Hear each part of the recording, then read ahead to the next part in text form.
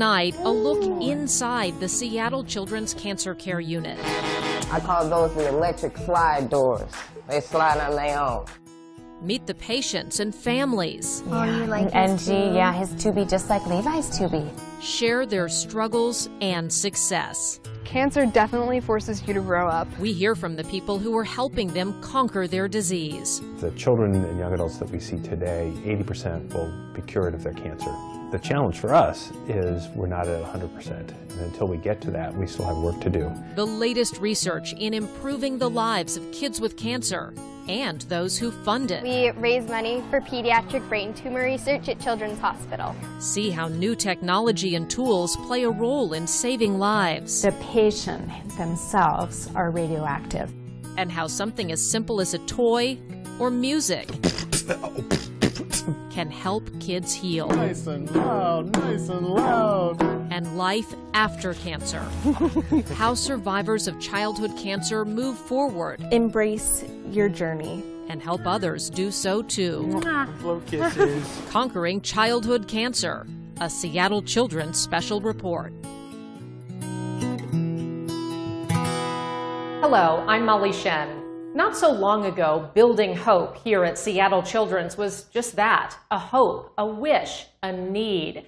That building is now a reality and a big part of it used to conquer childhood cancer.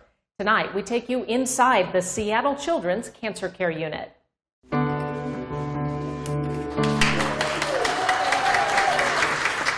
The opening of Building Hope in April of 2013, now called the Forest Zone, was a big day, full of fanfare, and for good reason. Two floors of this new wing of Seattle Children's Hospital are dedicated to cancer patients. 48 beds in large private rooms, each with enough space so two parents are able to stay overnight.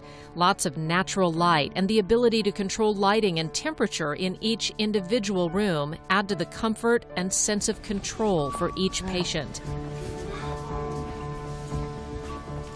Quiet rooms and family lounges give patients and families a place outside of their room for time alone, or to be around other families or visitors and prepare food, watch a show, relax. The top floor, the AYA unit, was the nation's first standalone cancer unit dedicated to adolescents and young adults. Many years ago, we realized that the teen and young adult cancer group was a population that had not benefited from the incredible advances seen in cancer treatment, seen in younger uh, patients and older adults. Their overall survival has hardly increased at all over the last 30 years. There are many reasons for this. Um, one of the reasons that we thought we could address was there's a lack of a home. There's lack of a place where they feel welcome, where they, they fit in. Uh, there also was not a focus on their, their population as a, as a whole. So we thought that in addition to focusing our, our research attention on this population, we could design a facility which met some of their needs and we could actually promote um, their cancer experience and actually improve their outcome. The Adolescent and Young Adult Unit creates a community for this age group. Their cancer diagnosis hits at a time of much change in their lives. So you're, you know, going through all of these really important life changes, establishing your self-identity, your independence, you're navigating romantic relationships, peer relationships, what do I want to be when I grow up? So now throw cancer into that. Everything's harder. All of that was hard to begin with. Now it's a lot harder.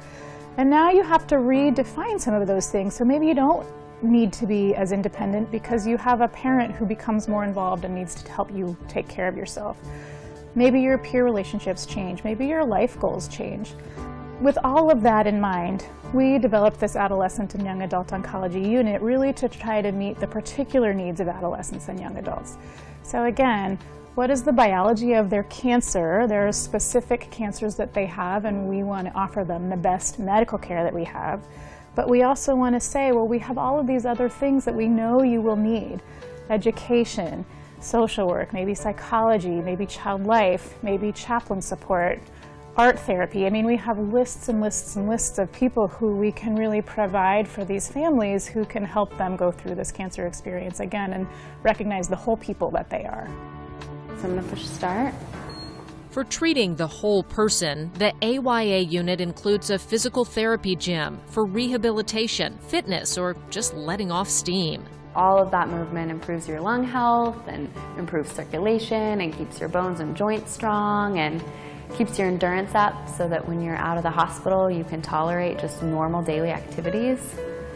So just your mental well-being too, getting out of your room, you know, chatting with people on the unit. Next to the gym, construction is underway for a rooftop terrace. When finished, it will offer a place for cancer patients to get fresh air, interact with nature, and take in the view of the world outside of hospital walls. The AYA unit is a state of the art space to meet the specific physical, psychological, and social needs of teens and young adults with cancer, treating the whole patient, not only the disease. These are human beings. These are people with lives, and we want to make sure that they still live those lives to the best of our ability. And so to just say we're only going to give you chemotherapy and check your blood pressure isn't complete. You know, we're going to do that, and we're going to do that really, really well. But we're also going to see you. We're going to see who you are, what matters to you, and how we can enable you to thrive. So you've gotten the official tour of the cancer care unit. Now we'd like you to see the place through the eyes of a real expert, someone who has lived here. Here's a creative look at one young man's crib.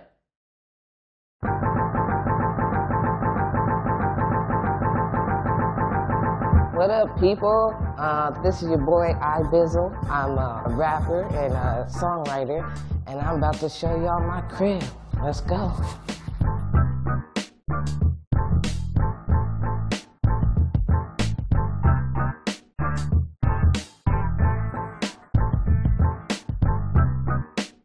This is mi casa.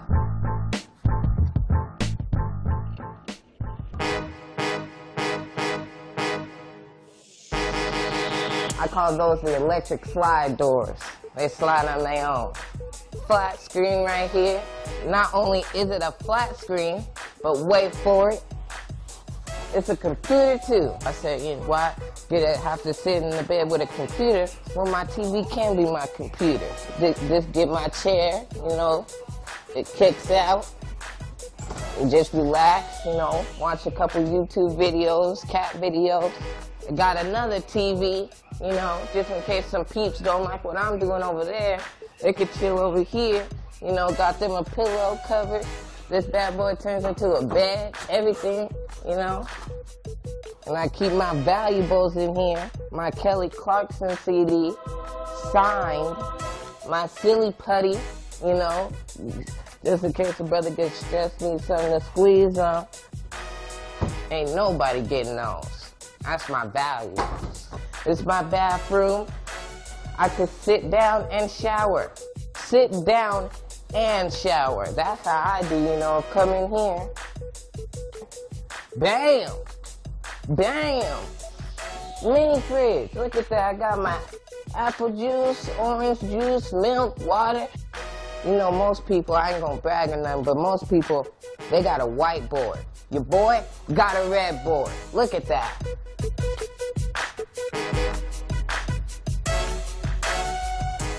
All right, y'all. Now we gonna, you know, go on down to what I call the quiet room.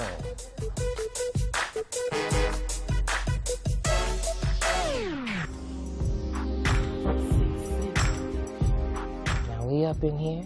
It's my quiet room. This is where all my homies come when they want to be quiet. This is my wonderful view.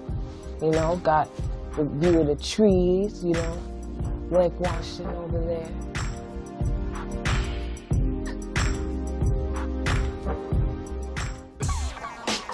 Thank you, sir. You know, I can't just look like this overnight. You gotta put work into it. Come over here, show you my wall of goodies.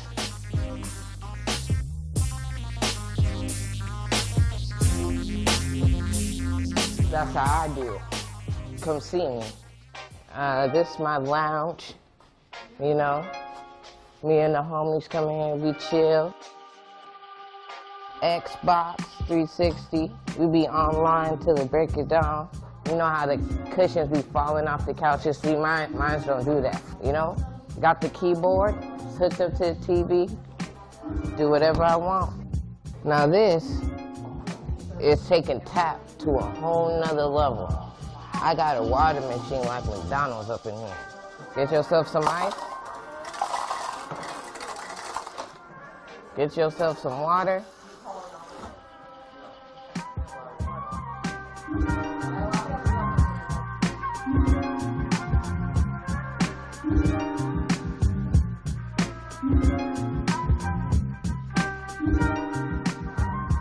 So I gotta deal with all my guests, so peace. Have a nice day.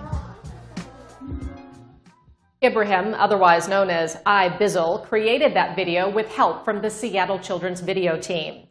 It's one of many ways patients are encouraged to be creative, express themselves, and dare we say, have fun while they're here.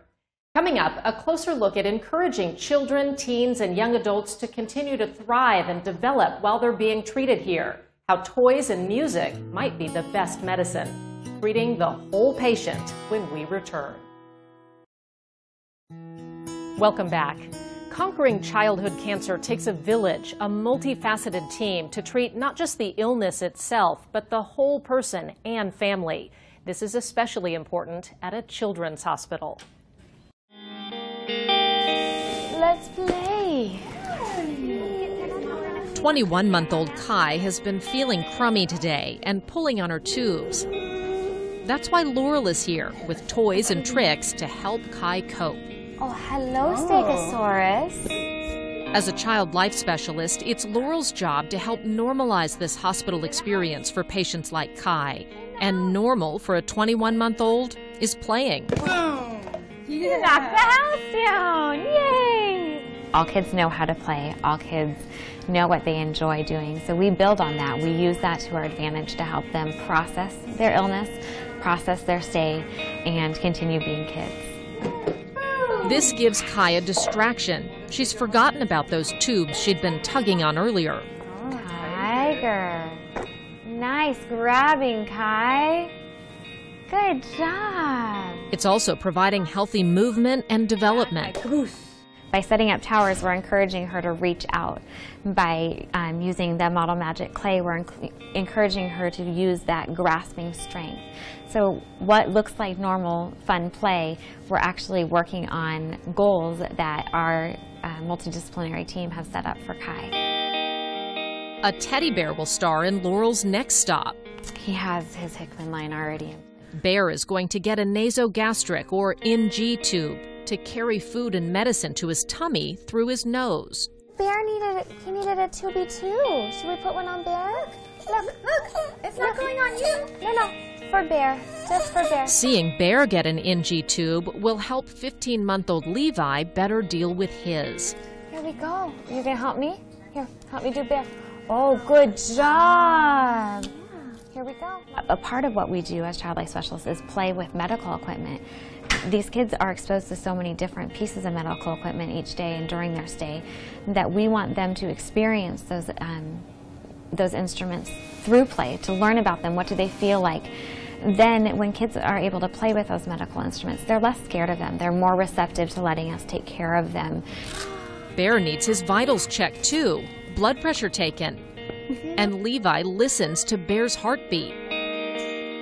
On the adolescent and young adult unit, the overall goals of the child life specialists are the same, but the patients are definitely at a different stage.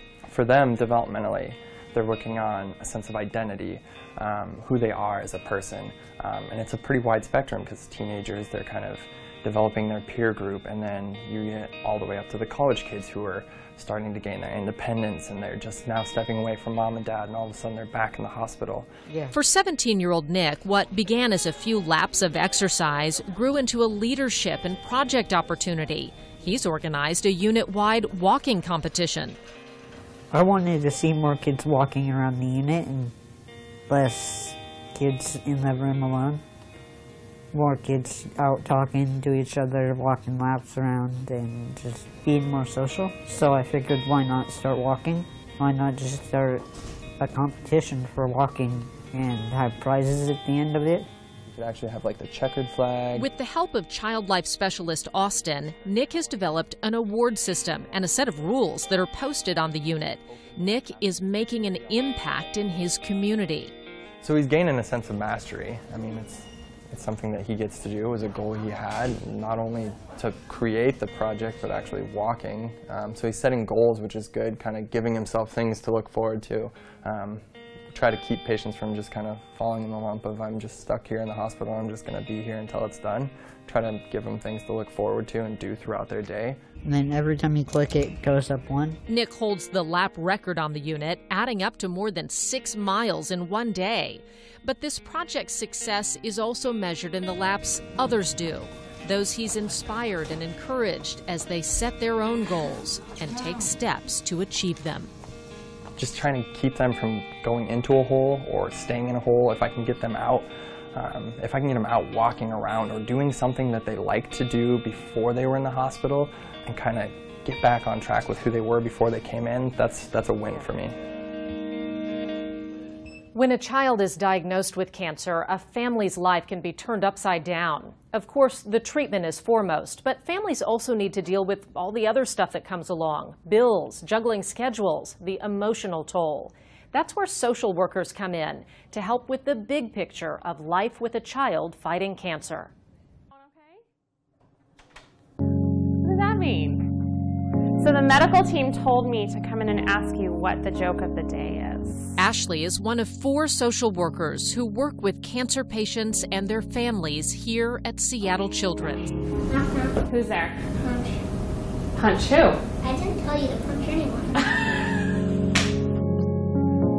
Think of Ashley as sort of a friendly guide, helping families through their cancer journey, from diagnosis through treatment and during the transition back home and into regular life. Hey, Elizabeth. How are you? While the providers focus on the medical care, social workers help with many effects cancer can have on a family. To just get that the paperwork for for you, and I can then go ahead and send that off. Okay, thank you. Yeah. For the practical support, we help out a lot with um, lodging resources and um, transportation assistance. We also help out with some financial assistance since a lot of families are at a financial hardship as a result of this, the cancer diagnosis and being away from their families. Um, families travel from Alaska, Montana, and Idaho, and so they are displaced for long periods of time. Okay, in addition to helping with practical, everyday needs, social workers also provide emotional support. This kind of journey is tiring and taxing on a lot of families, and um, they um, utilize us as uh, a source of that emotional support that they may not be getting from their community at home. What are you watching? It's on TV. A lot of Ashley's job is just dropping in to visit, listening, asking questions to see what a family might need to help them navigate an unknown, sometimes scary path. Ask about how the family's coping today, if there's anything that they need specific, if there's anything that we can help with, if they have any questions that maybe the medical team hasn't answered, we can help facilitate um, communication between the family and the medical team or encourage the family to make sure that they ask their questions to the medical team during medical rounds or when the providers are visiting throughout the day. So next week you and I have a Monopoly game to play. I love building relationships with families. They, it's so um, moving and, and rewarding to be able to help support them through such um, a challenging time but there's such a great team that can support them through the entire process um, that hopefully we can make things a little bit easier for them. Okay? It's a date. Social workers also help with the important transition to life after cancer, looking ahead to the survivor phase. One important program here looks way ahead, helping kids conquering cancer to think about a family of their own someday.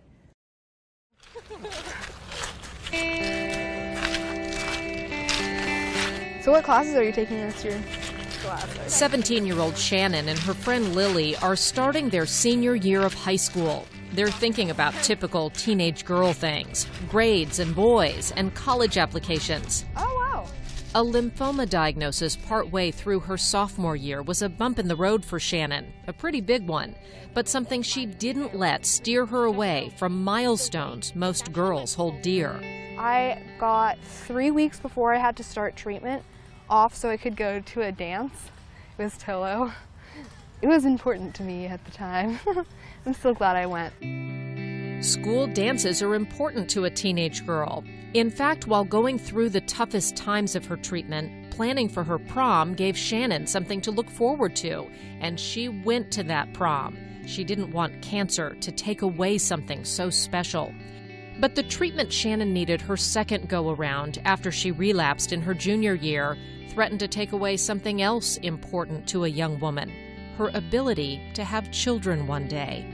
And people just don't want to be alive after cancer. They still have the same goals and aspirations that they had before their cancer diagnosis. One of those being the possibility of having a family someday. And we know that for some patients, the treatment that we give them um, may impact their fertility and their ability to conceive children, um, perhaps the way their peers or their siblings may.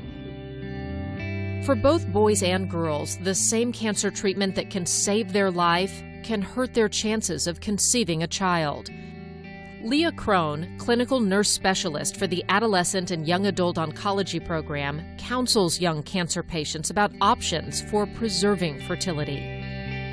That is one of the um, it's one of the favorite pieces of my role um, because it's a very future-oriented kind of service and thing that we're providing to these patients right about the time where they're getting what they would consider a lot of bad news. Um, and so right about the time they're diagnosed and we find out, uh, we understand what their disease is and how we're going to treat it, we can look at the treatment and say what kind of risk uh, does this treatment pose to their future fertility? And then we can counsel them appropriately. Because I still don't know if I'm infertile or not but knowing that I have the option to is very comforting because I, I don't really want to close any doors at 17. For Shannon, keeping that door open meant giving herself weekly hormone shots, monitoring hormone levels, and having several eggs extracted and frozen for the future. It was a big commitment, especially for a teenage girl who didn't have motherhood on her radar screen just yet. Cancer definitely forces you to grow up. But in the midst of a fight against cancer, looking into the future can be a very positive thing.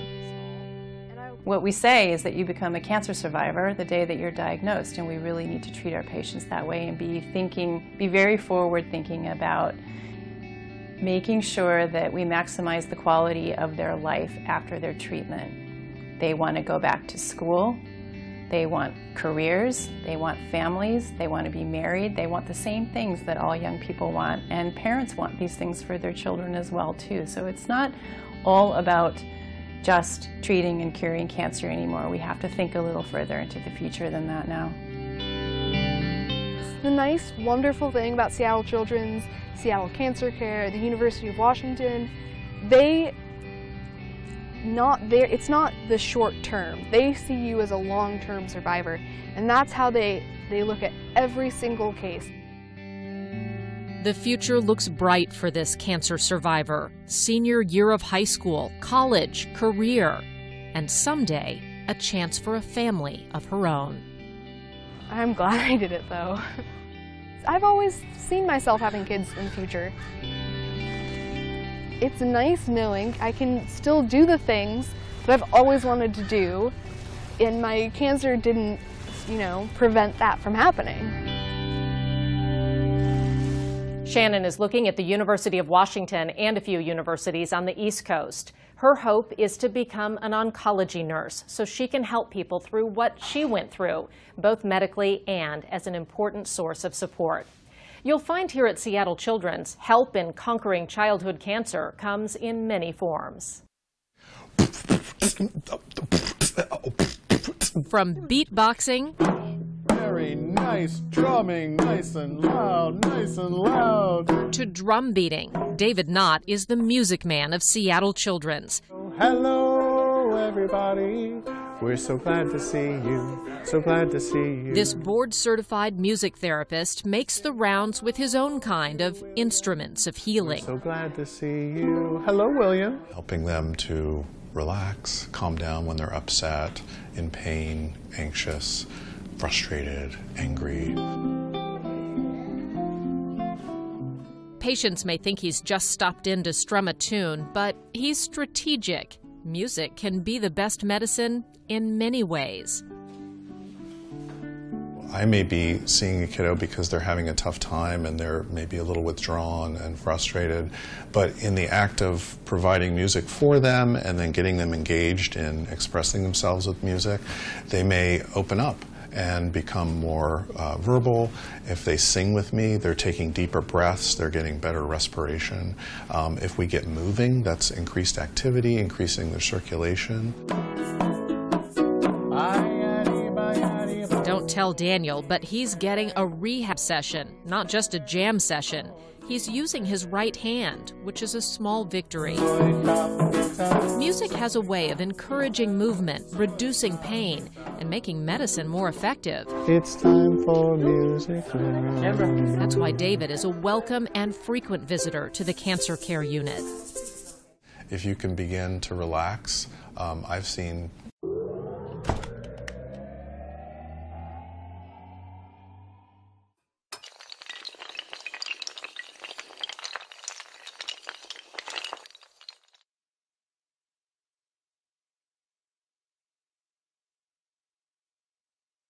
kids that were really experiencing a lot of pain, once they start to relax, that medicine that's been in their system start to work and they, they calm down and often just fall asleep.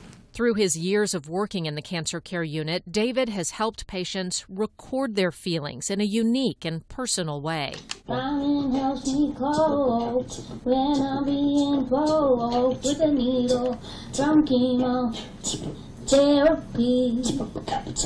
Therapy. Therapy. I think it's really beautiful the you know the rhymes that she was saying there you know rhyming helps me cope when i'm being poked with a needle from chemo therapy you know so sometimes it's really direct like that that they're expressing themselves and they're i mean this is a real clear idea of her experience and she's expressing it in music. Daniel, Daniel, he had a farm and two eggs in a frying pan. For David, a typical day at the office might range from hard rock to Bach. Somehow, he manages to hit the right note for someone who needs it most. That's really the beauty of this work. It's when everything else falls away and, you know, you've got some a kid that is facing, you know, some of the most difficult challenges of their lives, but they're they're finding an opportunity to lose themselves in the music. And that's really powerful. It's really beautiful to be part of that. Coming up, the very latest in pediatric cancer research. Check out this special room, one of only a few in the country that could help this young man finally conquer his cancer. Welcome back. As you probably know, cancer doesn't always respond to the first try at treatment. Sometimes you have to take another crack at it, and sometimes you have to pull out all the stops. Meet eight year old Renee. This is about as close as most people can get to Renee for up to a week. Even his own mother has to keep her distance. You haven't finished? Renee is undergoing what's called MIBG treatment for neuroblastoma. So MIBG um, is a relatively new form of therapy. It's actually been studied for over 20 years. Um, MIBG is a substance that's kind of a precursor of adrenaline, and it is taken up by about 90% of neuroblastoma tumors. So 90% of patients with neuroblastoma tumors will take up this substance. This is a scan of a patient with neuroblastoma. You can see the cancerous tumors throughout the body. This therapy sends iodine 131 into the bloodstream, attached to MIBG that these scattered tumors soak up like a sponge. The hope is the radioactive iodine delivered right to the neuroblastoma tumors will kill the cancer. But it's in awkward places, particularly for me. This treatment um, gives me the peace of mind that he's getting radiation to his um, some areas in his head, but it's not probably going to affect his brain because it's not an external radiation beam that's going to have to go all the way through.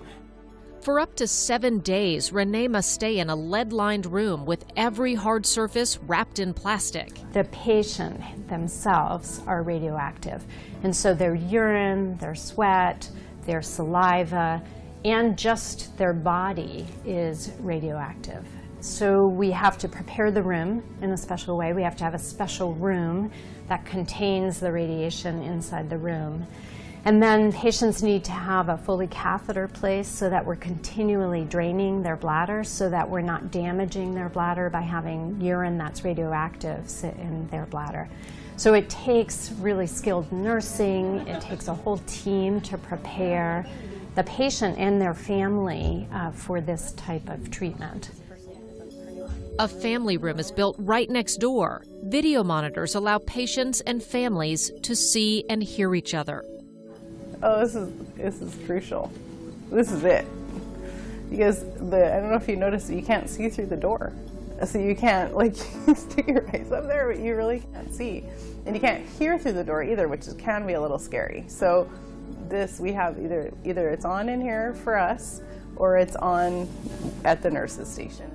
There are currently only 11 centers in the country set up to deliver MIBG therapy. This one at Seattle Children's is one of only three west of the Rockies. Renee and his family traveled from British Columbia for this. Both parents can be in the room. Renee's parents can stay, even sleep right here next to their son's room the whole time. Technology is a real blessing. Hi. Did you talk to Grandpa? Skype, iPads, and video games help keep young children distracted and entertained. I haven't figured out a way to replace the hugging and the snuggling, and the, that is really hard. A radiation safety officer constantly monitors the level of radiation coming off Renee. She makes sure those who go in to care for him stay safe. The less amount of time with the child, who is a, basically a radioactive source, the less their exposure. Um, and then when they're in there, we also have portable lead shields to provide shielding because shielding reduces the exposure to patients, uh, to uh, staff from the patient. And um, distance, the further away they are from the patient, the less their exposure. Meds. Thank you. To limit the radiation exposure of hospital staff, parents help with Renee's care. Mom gets to go in for short amounts of time. Okay. She gives him oral medicines, helps check his vitals, and gets some precious time in the same room with her son. Renee, I love you. When she comes out, a Geiger counter helps make sure she doesn't bring any contamination with her. All of this is quite an ordeal, but worth it to try to conquer Renee's stubborn cancer. He's done chemo, external beam radiation, immunotherapy, a stem cell transplant, more chemo. Like he's put in he's put in all of his effort. And so it's important that we still have options for him. The measures that need to be taken for this therapy are tough on a mom and an eight year old boy who need to be separated, who can't cuddle for almost a week. But it's a week that could save Renee's life. I think we're very fortunate to be able to have this here. I think it holds promise as another form of therapy for children who have a very difficult to treat cancer. I'm very grateful for the staff that have worked to put this program together for our patients um, and I'm hopeful that this will be a, a, an exciting and effective treatment for patients with neuroblastoma. That's quite a treatment with a special room and all of those precautions. Wouldn't it be nice if our own bodies could just get rid of the cancer on their own? No chemo, no radiation, no major side effects. That might not be so far off. Milton Wright had already gone two rounds with cancer when round three came swinging. The last thing you ever want to hear in the world, you know. So it was horrible. It was the third worst day of my life. And I still remember walking in that room and saying, Milton, I have kind of bad news for you. Your leukemia is back. It was devastating news. I, I really thought I was done with, uh, with just everything. Milton had suffered the ordeal and side effects of a three year treatment at age eight, then another two year treatment as a sophomore. Neither Milton nor his mother was prepared for Dr. Rebecca Gardner's diagnosis. And she just kind of gave me some time just to kind of get in my emotions or my feelings a little bit. And uh, you know, some of the a lot since a lot of the nurses know me in the Hem-Onc clinic, um, I had a lot of nurses come in and they were hugging me and talking to me and just just saying like basically I'm not alone. They're all here with me. But Dr. Gardner was offering Milton a new treatment, one that uses the body's own immune system to battle the cancer and only lasts six months.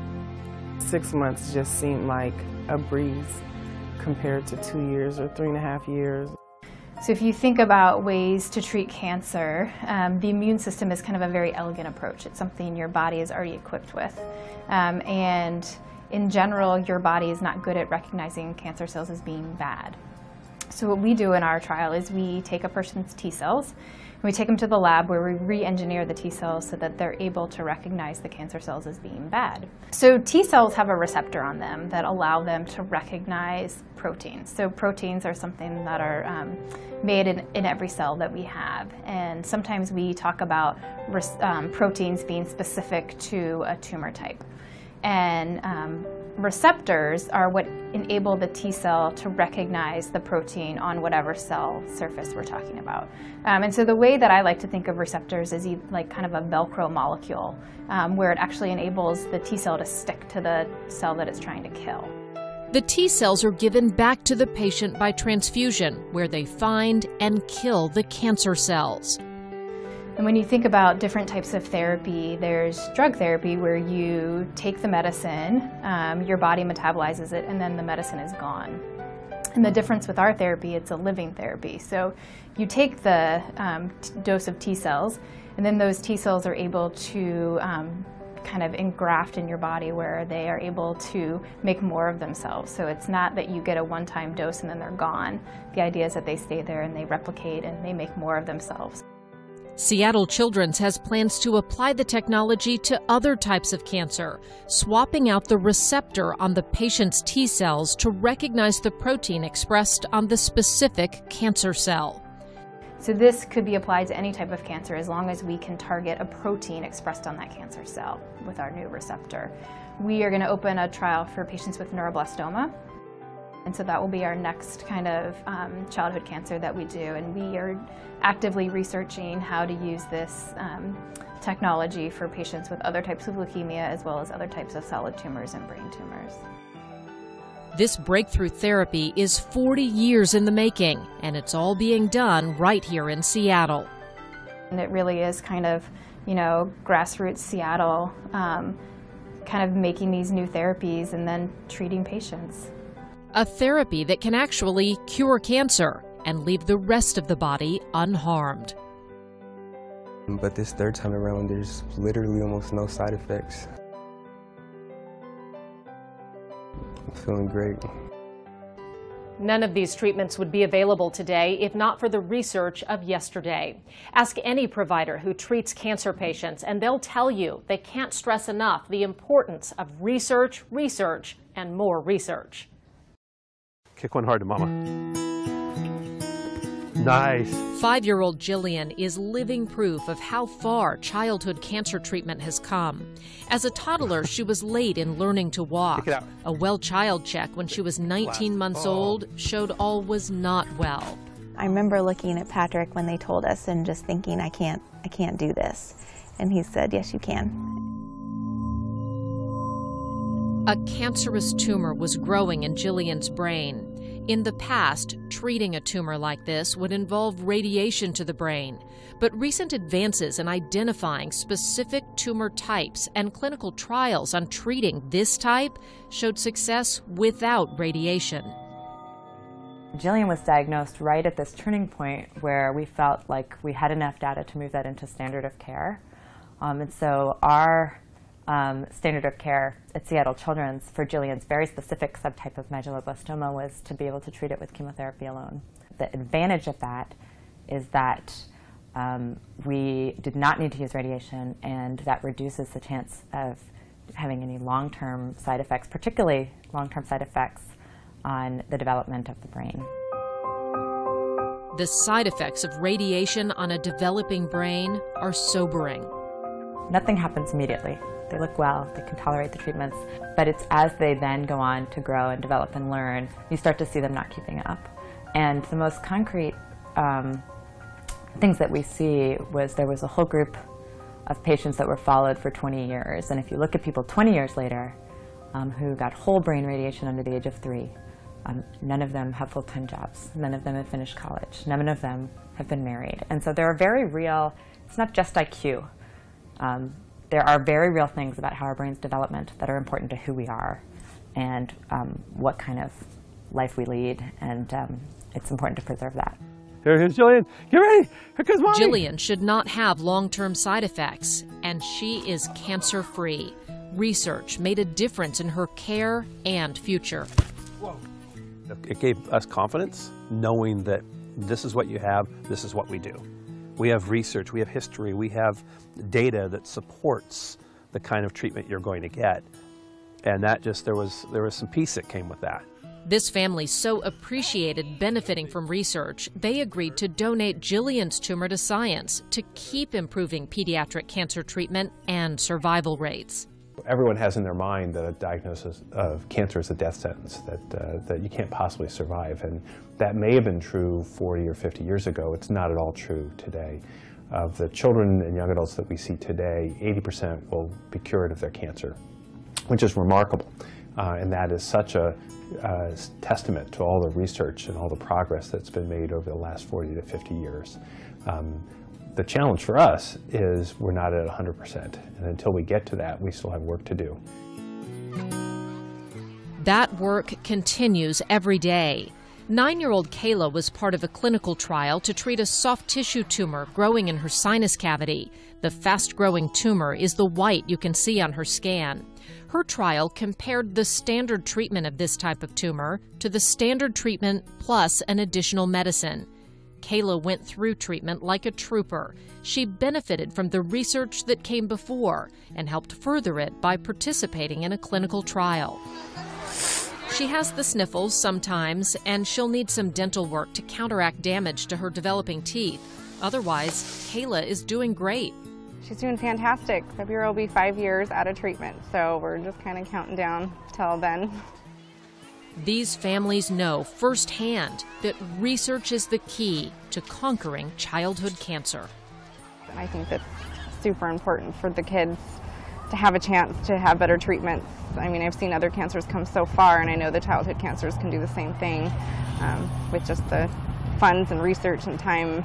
Oh, it's what brings me to work every day. It's what gives me hope every day um, because I know that what we do today, the progress we've made today, is entirely dependent on the research we've done in the past. Everything we do, everything we know, every part of the treatment we have, we can tie back to a research study. I can see the progress in my own career, and I know that that's what's going to happen in the next 20 years. And I know it's the work that we do today, the, the brave children and their parents who are willing to be part of research studies today, who will help us make those advances and make the treatment more effective with fewer side effects in the future. It's true that research is the key to conquering childhood cancer, but fundraising is key to make that research happen. Coming up, meet the people who are making that their mission. See the depths people will go to improve the lives of kids with cancer. As far as we've come, cancer is still the number one disease killer of children under 15. One of the biggest roadblocks to conquering childhood cancer is funding, funding the research that could lead to cures and better treatments. With government funding for research shrinking, individual and corporate donations are even more important to ensure research can continue. Hi. So these are sparkly headbands like the one I have in my hair. Could these colorful headbands help cure pediatric brain tumors? That might not be much of a stretch. It's fundraising efforts like this that move the needle in pediatric cancer research. So we are the Pink Bandanas Guild and we raise money for pediatric brain tumor research at Children's Hospital. Each of these girls was a friend of a little girl named Sarah who wore a bandana, usually a pink one, while battling a cancerous brain tumor. It originally started when we were in a Girl Scout troop with her.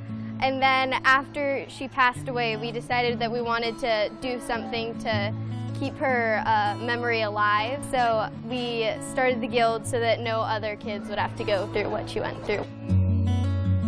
Members of the Pink Bandana Guild spend hours hand making headbands and ponytail holders. We have headbands on this side, and so we sell the regular solid colors. And then we also sell the sparkly colors. So there's a lot of different colors. And then in ponytails, we have the solids, and then we also have the sparkly ones too. Here, yeah, we have chain. They sell them at nearly a dozen Seattle area locations and online. So there's stripe and then the polka dotted ones. Between sales and donations, they've raised some $40,000 since starting the Guild in 2012. All of the money goes to pediatric brain tumor research at Seattle Children's. What a nice cause. Auctions, lemonade stands, an annual 24 hour scuba diving event.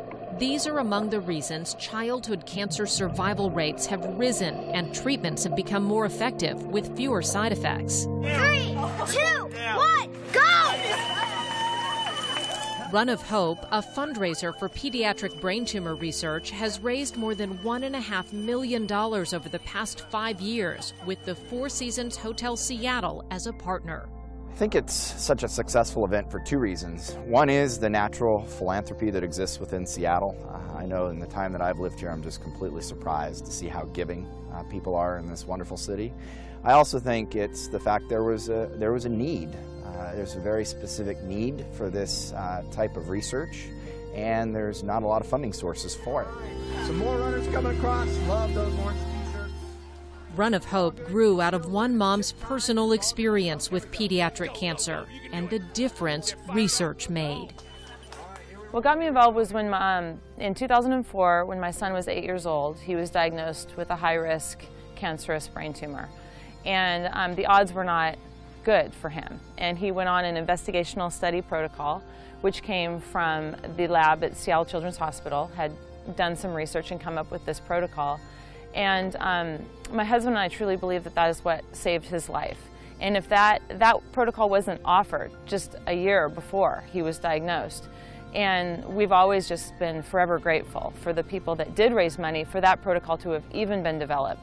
The National Cancer Institute gives less than 4% of its budget to pediatric cancer research.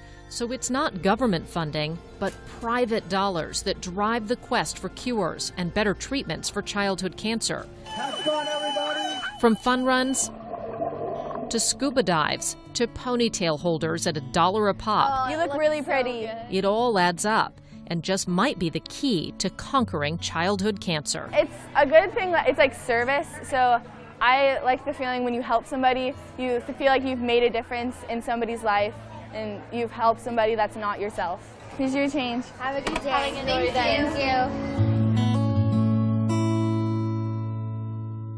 Coming up, meet some survivors, young adults who have conquered childhood cancer. Finally, tonight, we'd like you to meet some graduates, those who came in as teens and young adults and conquered childhood cancer here at Seattle Children's. We check in to see how they're doing now. nice try. Oh, big rock. For Heather, life after cancer is filled with laughter. She's a mom and wife. Good throw. Seven years in remission from a pediatric form of non Hodgkin's lymphoma. She was diagnosed at 18. It was really difficult to um, face the reality that, you know, I'm 18, I just graduated high school, life is supposed to be just starting, and now I'm faced with the reality that life could be ending. And so that's a kind of a tough pill to swallow at an age where you're not emotionally really capable. the same sense of humor she relies on as a young mom got her through her toughest time while at Seattle Children's. You can either get bitter or you can get better. And I just chose to get better and laugh about it. Thank you all so much for being here. Um, Heather and other young adult survivors share their experiences with others. You can start feeling really lonely as a patient, a young adult patient at a children's hospital. And so I used that social media. They tell how they coped while at Seattle Children's and how they cope as survivors today. Each makes a point to help others on their cancer journey. AYA survivorship. uh, Since program. surviving a brain tumor, Nina has gone whitewater rafting, raised money for cancer research, even jumped out of a perfectly good airplane. She embraces life and loves to work with other cancer survivors who are transitioning back to normal life.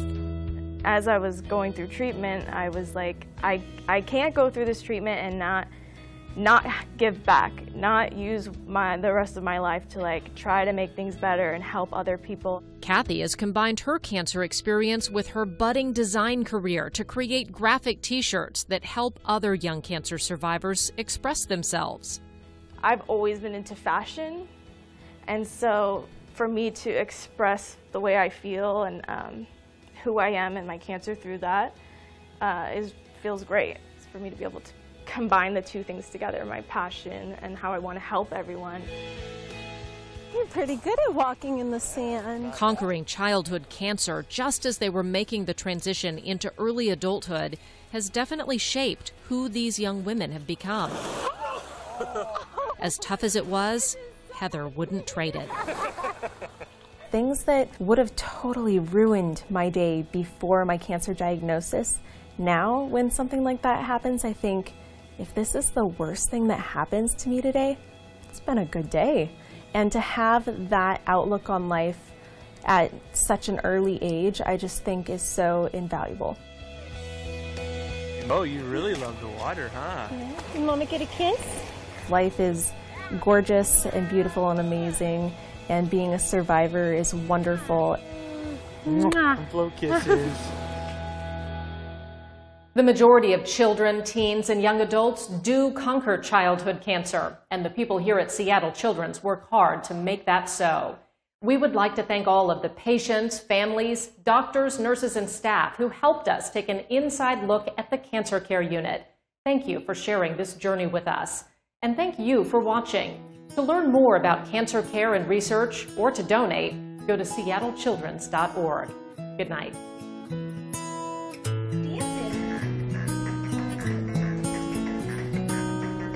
Good job, bud. What's it